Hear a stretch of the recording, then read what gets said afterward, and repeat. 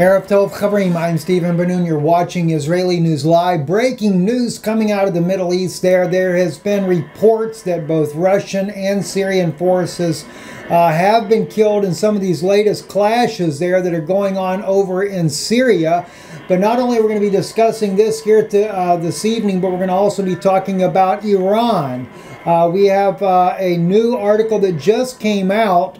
Uh, this came out only moments ago. In fact, let me run you over to Twitter here, see if I can pull this up real quick. This is a new article that just uh, surfaced on Twitter uh, just moments ago there. Maybe I can actually pick this thread up for you and share that with you guys. Uh, I saw it uh, on Twitter and I pulled the article up, but I wanted to show this to you because of the time. Well, maybe the article itself. Let me look at the the article and see if we have a timestamp on here. Yes, four hours ago. We don't have to go to Twitter for that.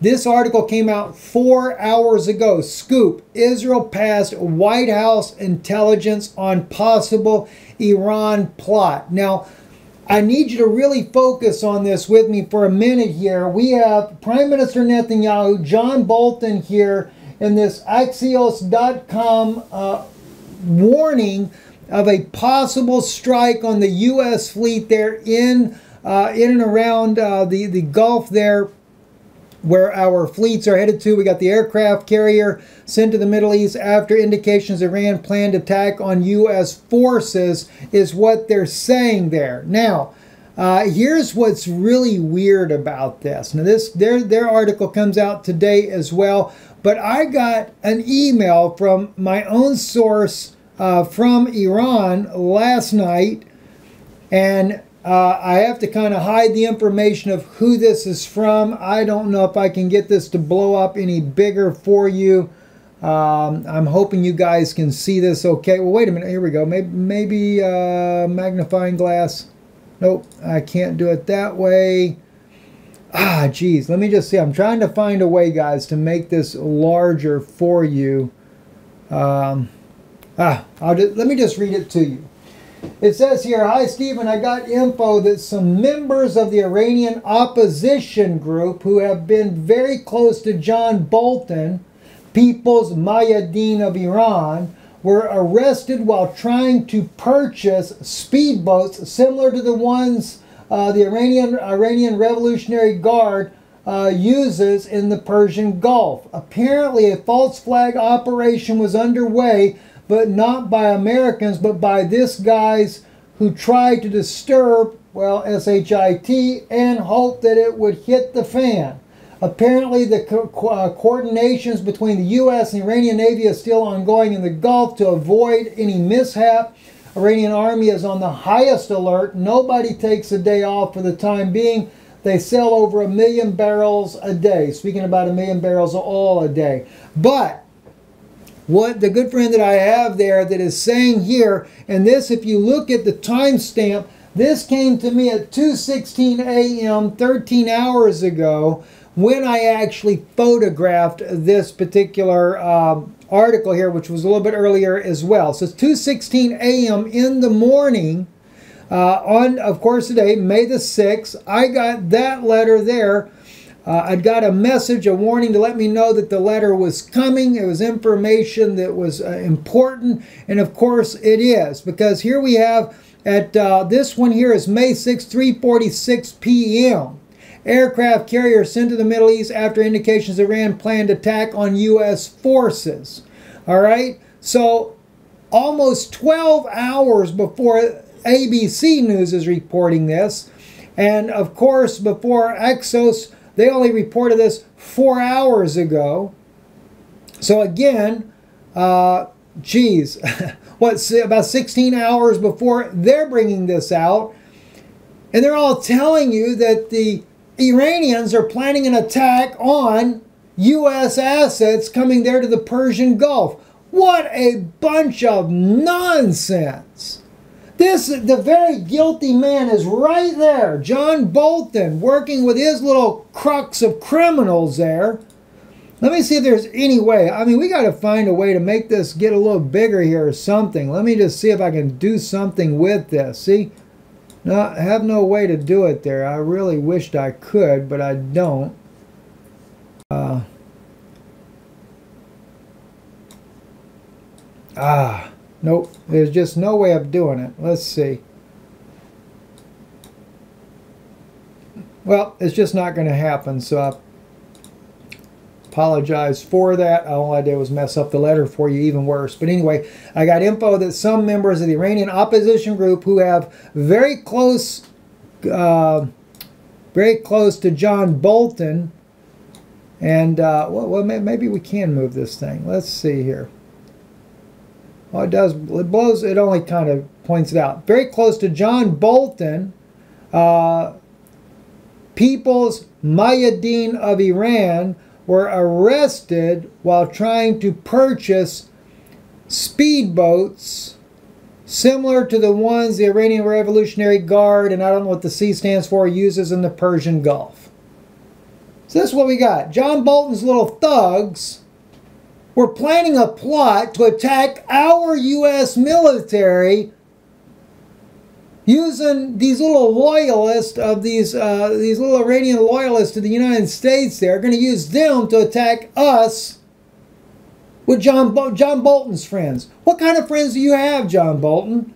I mean, this is absolutely absurd. So there's the truth of this. This is all fabricated nonsense, garbage being pumped to the American people. What, what are we going to get next, right? What's going to come next? Anyway, I got a scripture up there, but I'm going to go to that a little bit later. So the thing is that we've been getting these messages here for about the last three or four hours about uh, possible Russian and Syrian forces. There's a place called uh, uh, Yanabra in uh, Syria near the Hama area. This is where all this heavy fighting is going on. And when they were coming across, I think, a little bridge or something like that, they were sustaining a very heavy attack uh, in, a, uh, in a repel against the Syrian and Russian forces. Russia has denied uh, that they have lost any of their forces there. There is claims, though, that they took out one of the Russian leaders. Uh, even though he was an Arabic man, they took him out. Uh, also, the Protection YPG militia commit horrific massacre of a family in Deir el-Zor. You have to remember down there, you know, of course, the YPG being supported by the U.S., and uh, says the supported by the U.S.-led international coalition aircraft carried out a horrific massacre of a whole family in, in Daman village in the eastern suburb of Deir Zor province in East Syria.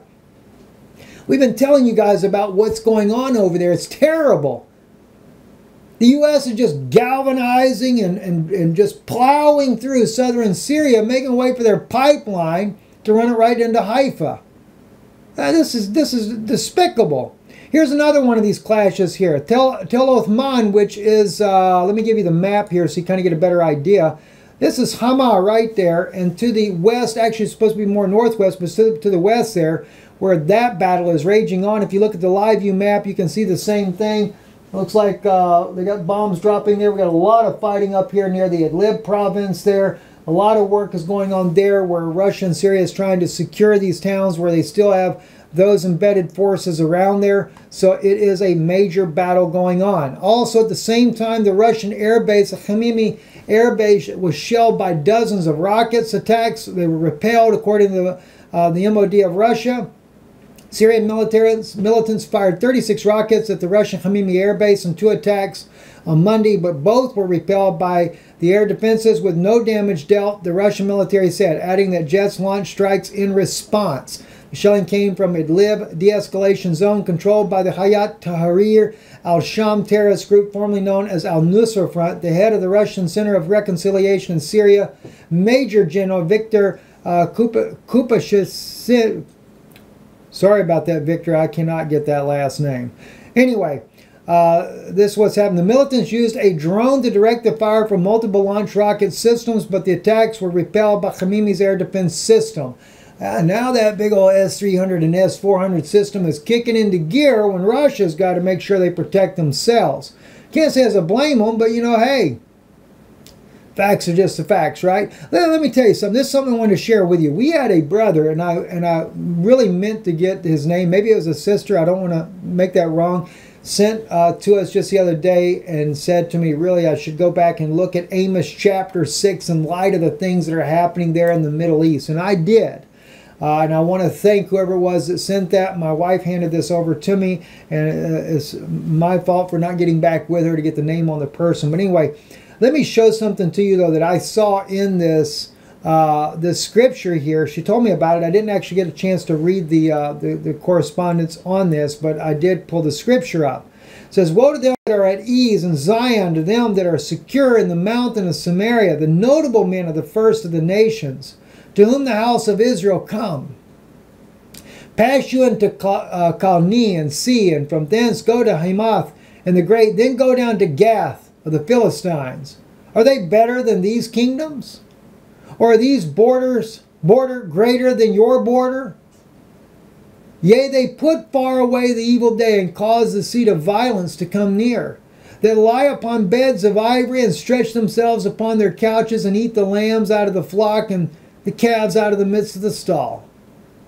That thrum on the psaltery, that devise themselves instruments of music like David, that drink wine in bowls, anoint themselves with the cheap ointments, but they are not grieved for the hurt of Joseph. Notice that. They're not grieved for the hurt of Joseph right there. Al Shavad Yosef. Do you realize that's speaking about Jesus Christ? Yeshua? See, Joseph in every aspect is a type of Christ. Watch what else it says, though. Now, that is telling you, because he's going to talk about they're going to go into exile, talking about the house of Judah. Therefore, now shall they go captive at the head of them that go captive, and the revelry of them that stretch themselves shall pass away. The Lord God has sworn by himself, saith the Lord, the God of hosts I abhor the pride of Jacob and hate his palaces. I will deliver up the city with all that is therein. Why? Because they did not grieve for the hurt of Joseph. Now, we know that's not talking about the natural Jacob. He loved his son and grieved like crazy for him. But Israel did not. And it shall come to pass if there remain ten men in a house that they shall die. Do you realize the implications of that verse right there in verse 9 of, of Amos chapter 6? Not only can that deal with 70 AD, but it could even deal with today. Do you know what it means? And it shall come to pass, and there, if there remain ten men in one house, that they shall die. You see, Israel believes as long as there are 10 righteous praying at the synagogue there at the Wailing Wall, in the Kotel, the, the Kotel synagogue, as long as there's 10 righteous praying, that God will spare Jerusalem. And God's letting you know right here it shall come to pass if there remain 10 men in one house that they shall die. God isn't finding the deeds that are being done. Neither in seven, uh, back in 70 AD, neither today does he find them righteous anymore before him.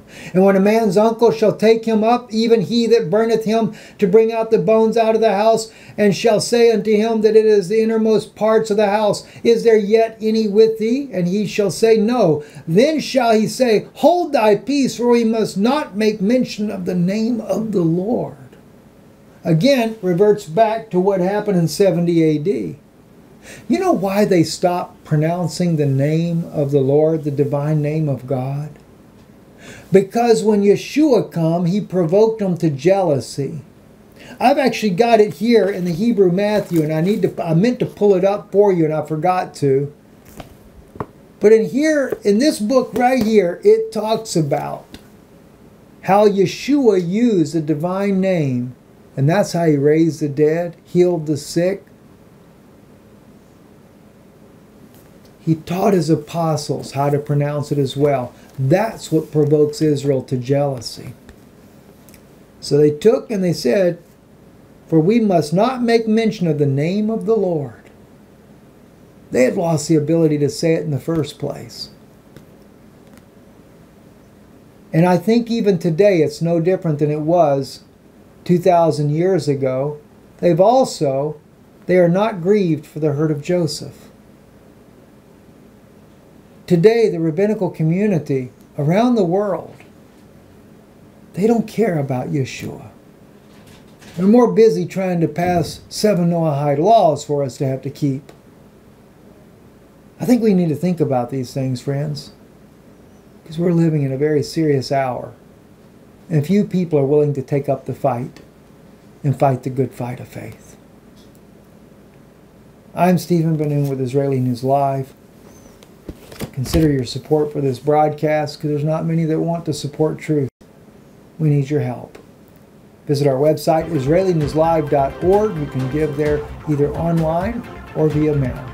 We thank you and thank you for your kindness and love.